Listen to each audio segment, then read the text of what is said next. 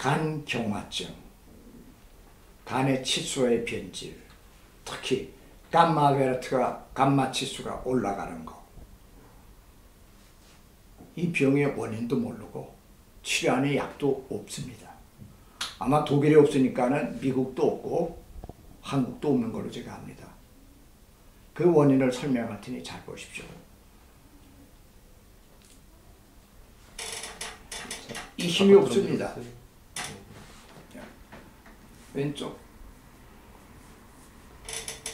왼쪽은 힘이 센데 오른쪽은 이 힘이 없어. 그게 첫째요. 그 힘을 찾아놔야 되고 발가락 힘 그것도 다 찾아내서 뭐냐면 왼쪽이 똑바로 힘있게 쓸 수 있고 걸어갈 때 땅을 디디는 속도가 왼발이 빠르면은 왼쪽 모든 근육, 머리까지의 근육이 빠른 속도로 움직입니다. 그런데 이, 이 발목이 자, 손 치워 볼까요? 이 힘이 없고 속도가 느리게 되면 왼쪽 근육이 다 아래로 주저앉습니다. 이 작용과 반작용은 중력이 작용하는 힘에 작용되는 자연 법칙입니다. 특히 우리 근육 구조의 0.1, 0.3초라는 빠른 속도의 근육 구조는 두뇌가 무식이기 때문에 왼발, 오른쪽 발 근육이 빠른지 느린지를 두뇌가 도무지 알지 못합니다. 그런 상태가 오래 지속되어지게 되면은 오른쪽 근육이 다 느리다는 걸 알게 되는데 간경화증 환자를 찾아내는 방법을 여기 영재가 잘 설명하겠습니다. 자. 예, 일단은 먼저 발을 테스트해서 이 힘이 약하고 오케이. 무릎 구부리는 힘이 약한 거를 확인한 다음에 이 부분을 대상포진하고 똑같아. 예, 대상포진하고 저번에 대상포진 했던 것처럼 똑같은 방식으로 할 수가 있습니다. 눈으로 살펴보고 휴지를 말아서 자극을 줍니다.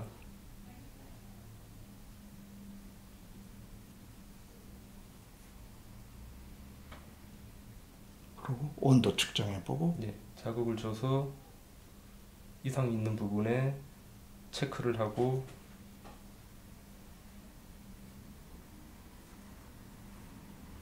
온도를 측정해서 주변보다 차갑거나 다른 부분에 마찬가지로 체크를 합니다. 저희들이 경험으로 볼 때는 왼발이 고장나고 온도 차이가 있고 그러면 왜 여기가 문제가 생겨졌는가? 여기 여자분이었는데 나이 서른다섯이었는데 한국 태권도를 하다가 이 부분을 갖다가 발로 두세 번 갖다 차였습니다. 그래가지고 이 부분의 근육을 체크해 보니까 요 정도 가량이 피부에 감각이 없어. 그래서 온도로 측정되어지고 아까 해서 이렇게 표현해 볼까? 이 정도 되는 걸 갖다가 이렇게 동그랗게 표시해 봐. 오케이. 이 정도의 부위가 여기 명치에서 여기 물렁뼈가 있습니다. 요 부위가 감각이 우둔하고 그래서 요 부분이 요 부분이 이렇게 이렇게 이런 이런 수축 작용을 제대로 하지 못합니다. 수축 작용을 제대로 하지 못하면은 약간 위로 가 있는 능막이 간이 이렇게 있으면은 이렇게 있죠. 간이 이렇게 있으면 능막이 이런 작용을 못 시켜주기 때문에 간 속에 혈액순환이 어려워지는 것입니다. 간은 자체 내에서 펌프질하는 것이 아니라 횡격막 운동에 따라서 그리고 흉곽이 갈비뼈가 이렇게 있으면 갈비뼈가 늘었다 줄었다 하는 이 운동력에 의해서 간의 혈액선이 되어져서 간 위에는 정맥이 있고 정맥이 있고 간 밑에는 동맥이 있어서 이 작용에 의해 가지고 혈액순환이 되어집니다. 재밌는 것은 간 자체에 있는 혈관의 근육은 이런 데 있는 혈관 근육과 달리 거의 플라스틱 같은 형태로 되어져 있습니다. 그리고 간 자체는 이게 아주 연한 코티션처럼 어, 여자들 그 유방 수술할 때 넣는 그런 코티션 성격으로 아주 서- 아주 예민하고 신축성 작용을 하는 그 상태에서 횡격막의 이 운동을 통해서 혈액순환이 되어지는데 이 자체가 횡격막이 주저앉고 이것이 팽창하는 신축성이 없어지게 될 때 결국은 간 자체 내에 혈액순환이 되어지지 못해서 간 경화가 되어지고 간 자체 내의 독성인 감마 GT.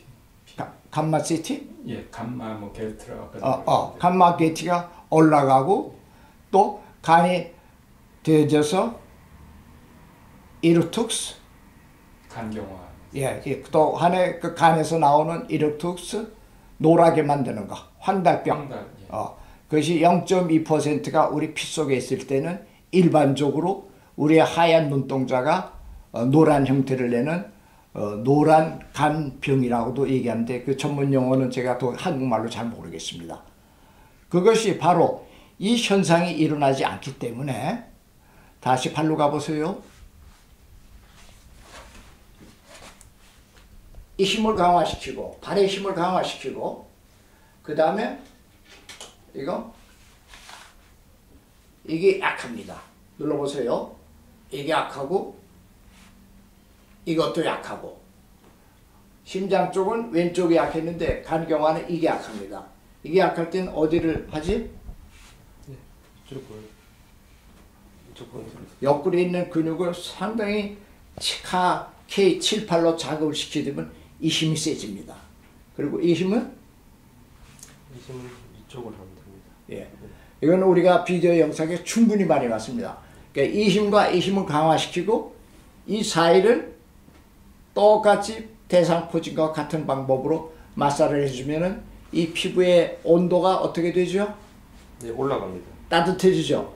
그리고 나서 2주 후에 왔을 때 또 체크하면은 이 빨간 표시가 점점 점점 줄어 들어갑니다.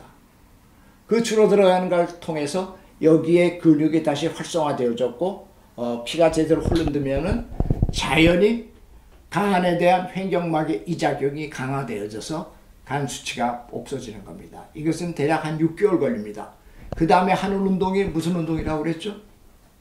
올라오고 어, 훌라후프로 빙빙 돌리는 운동을 한 20분 정도 매일 저녁마다 해줘서 이 근육이 활성화될 수 있도록 해주게 되면은 간 수치는 보통 6개월 지나면 내려가고 그 사람들은 이 발목과 이 힘이 강해지는 것을 의식할 수 있습니다.